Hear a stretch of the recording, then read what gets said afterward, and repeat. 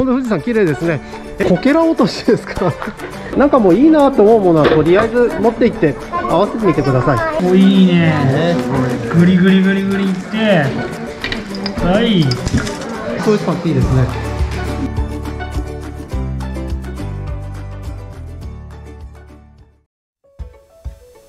こんにちは、直岡園芸です。えっ、と本日お届けするのはえっ、と出張の寄せ植え教室です。えー、とお客様からですね、えー、とご依頼をいただきまして、えーお客様のご自宅にお伺いして寄せ植え教室も行います。えっ、と生徒さんたち、は皆さんあのーお客様が声をかけておいてくださって事前に集めてくださっています。で、えっ、と今回どちらに行くかというと御殿場です。えー、とちょっと話題になっちゃいましたね、最近ね。えっと御殿場に行きます、えー遠いんですけれども、まああのー植物を持って、鉢を持って、土を持って、えー、と僕がお伺いさせていただきます。で、じゃあ実際その出張でね、寄せ植え教室をするっていうのがどんな感じで行うのか。で皆さんどういうふうに行うのかっていうのもあのたまに聞かれます。どんなもんなんですって言ってね聞かれますのであのその様子うんお届けできたらなと思います、えー、とちなみに御殿場、えー、とこれで行くの何回目かな？1234回目？3回目ぐらいかな？で行ってるんですがすごくいいところです。なんかね空気が澄んでるんですよね。うん、標高が高いせいかもしれないですけどすごく僕の好きな土地なので、えー、と今から、えー楽しみに、えー行ってきこ行ってこようと思います、えーそれでは、えー本日もどうぞよろしくお願いいたします。さて御殿場来ました。えーとさっきまで全然富士山出てなかったんですけど出ましたね。よかったです。あのーちゃんと御殿場に来た証明ができたと思います。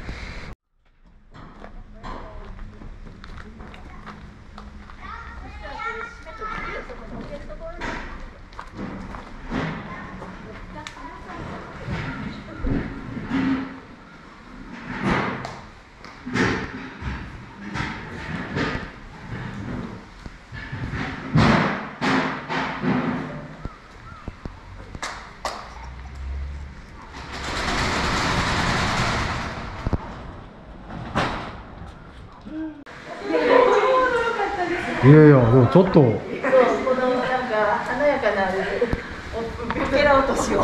こけら落としですか？いやでもすごいっすよ。はい。何かこうイベントに貸すとかなんですね。はい。いやいやヤマメも裏にいるし。そうですね。裏にヤマメいるんですもんね。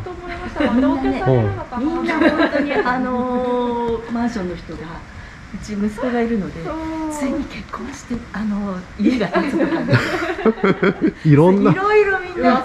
いろんな噂と妄想が。よく監督で上から見てってくださって私よりねなんかすごい立派な木材使ってる。いやいや本当ですよ。あーだって梁とかもなんかね本当お家の感じですいお家以上だと思うよ。今のプレハブ住宅こんなのやらないでしょ。うちそうそういう結局地元の知り合い、で、はいはい。いいようになんかなんか使われてあでも、うん、建物だけはトップメーカーか地元の大工さん地元なんでがいいんじゃないですか？僕そう思いますけどね。はいはい。ああそうですね。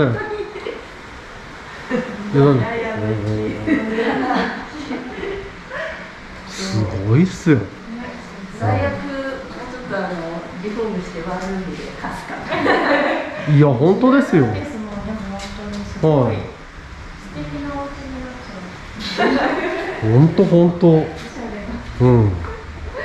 すごいな。はい。えーと。けど本当使い道が困ってて。使い道。いやいやいや。我々今日はありがたく使わせていただきますんで。いやいや恐縮です。本当ですね呼ばれればいつでも来ますんで、はい、ぜひぜひお願いいたします。お忙しいでしょ。いやその忙しいふりですね。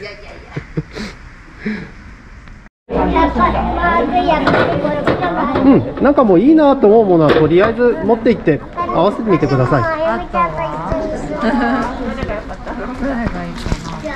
金はビンゴのこれが10円にしすごいこの辺もなんか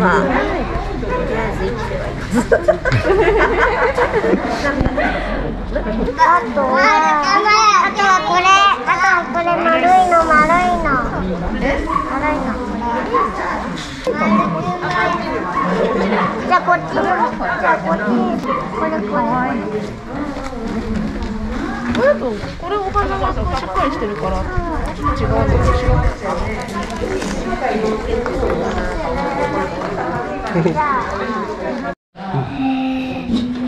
はいいいよねだっていっぱい入れないとさ大変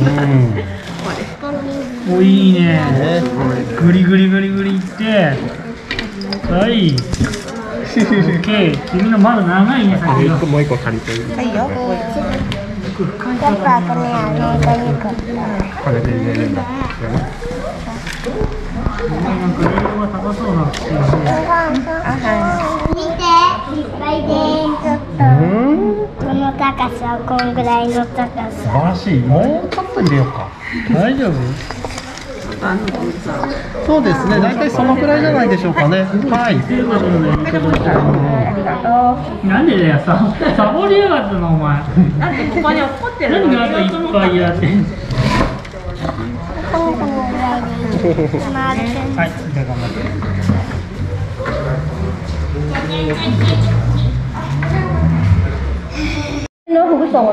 そう。根っこがもう真っ白になっちゃってるようなこのぐらいのやつはちょっと下の方をベリベリって引っ張ってほぐしてあげて。そうですね。そんな感じで結構です。やってあげるといいと思います。でそれ以外だったらもうそんなに根っこは切っちゃう必要は必ずしもないです。ハッピーベリーだっていい名前ですね。本当に。可愛いですね。すいません、葉っぱ類だけだとおかしいですか？いいと思います。あの葉っぱ類の寄せ植え僕好きです。はい。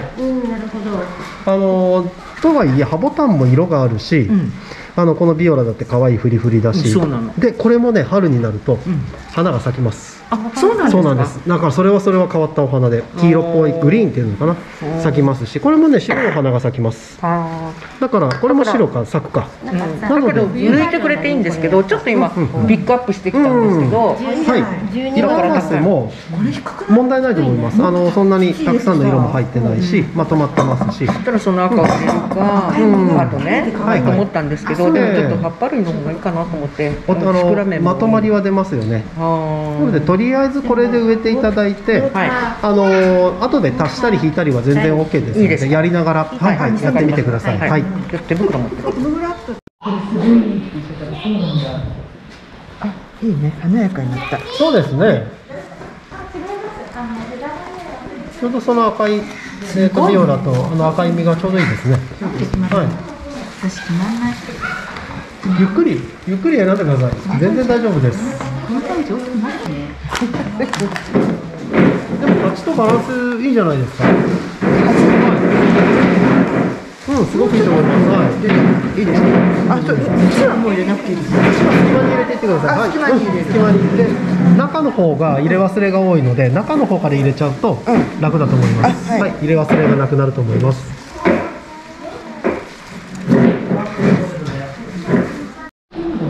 いいですね。年末年始らしく、はい。うん、なりましたね。はい、はい、いいですね、いいですね。御殿場ははい。やっぱり今まで暖かかったですか、あの今まで少し暖かかったですそうですか。ね、は例年に比べては。だからなんか年末年始感あんまりないですよね。気分が出ないですよね。確かに。はい。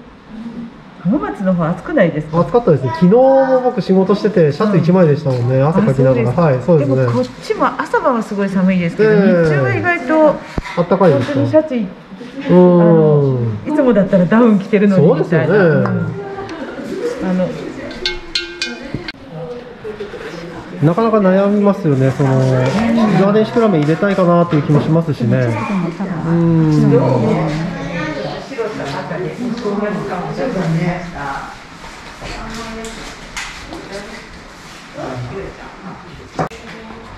ちょっと深すぎちゃうかなう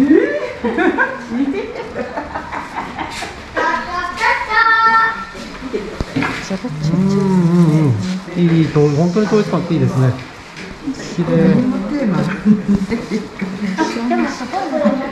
はい。あの色も3食以内で収まってますしと思いますけどねやっぱり三食ぐらいで収める。3食以内がいいですねはいあの洋服と一緒だと言われてますああ、そうですか。はいそうなんだこれをどこにしようかな。ここかな。お疲れ様でした。えっ、と、終わりました。ありがとうございました。あの、あんな感じです。あの、まあ、今回かなり立派なね、倉庫の中でやらせていただいて、あの、すごく待遇よくしていただいて、本当に恐縮してしまったんですが、あの、まあまあ、あんな感じで、えっ、と、今回は行わせていただきました。あの、お客様のおかげで、で楽しく皆さん、えー私も含めて行うことができました。本当にありがとうございました。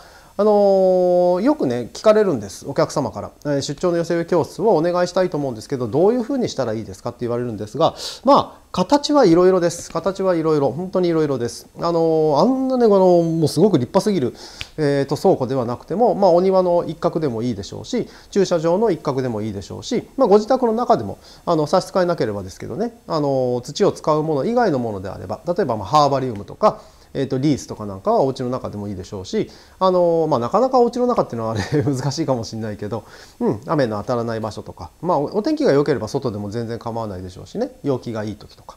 あとはまあご予算。えー、と1人当たり、えー、といくらぐらいとか、あのいろいろあります。うんと今回は1人、えー、と受講料500円。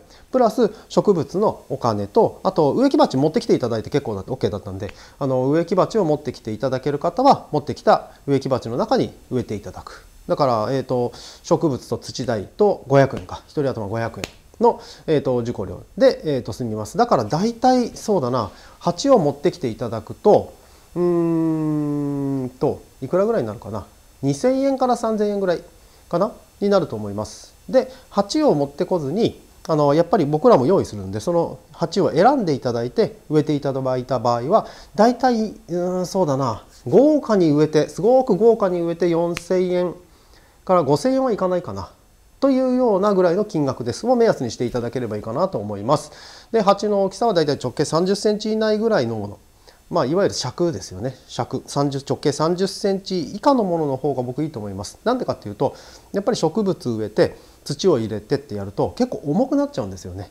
だからあのあんまり大きい鉢持ってきちゃうと車に積むの大変です。なので30センチ以下がいいかなと思いますね。で私もちょっと気を使って最近ではあの素焼き鉢っていうのは持っていくのは少ないです。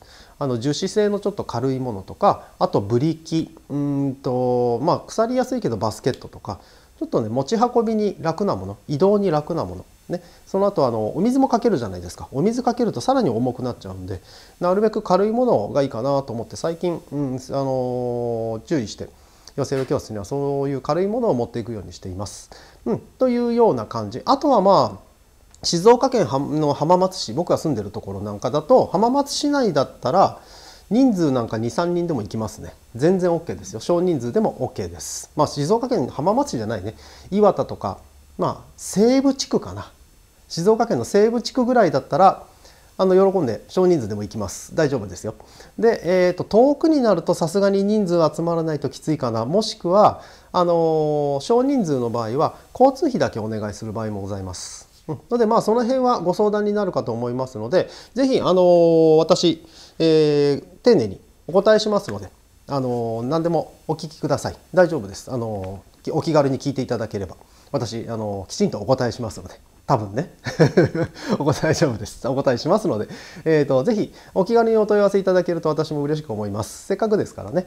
あのまあ陽気のいい時なんかもいいでしょうしあの冬の寄せ植えなんてもいいです。僕は暑い寒い、えーと、陽気のいい関係なく喜んでいきますのでご依頼があれば、えーとおっしゃっていただければあの嬉しく思いますのでぜひ皆さんお問い合わせをお願いいたします。やっとあのコロナウイルスも少し落ち着きましたからね、えー、まあ落ち着いたからといって油断することはなくきちんと感染症対策あの手指の消毒あとはマスクをするとかですね最低限これだけはやった方がいいっていうのはきちんと思って、まあ、密にならないようにやりますので是非お問い合わせをいただけると嬉しく思います。そしてあの今回みたいに皆さんと楽しくコミュニケーション取りながらできますからね、えー、とその際お庭のこと悩んでることなんかも私に聞いていただいてもいいですし一石二鳥だと思います。あのぜひお願いいたします、えー、本日御殿場で、えー、寄せ植え教室を開催してくださいました。S 様、えー、誠にありがとうございました。あのとても待遇よく 待遇良す良すぎる待遇ですね。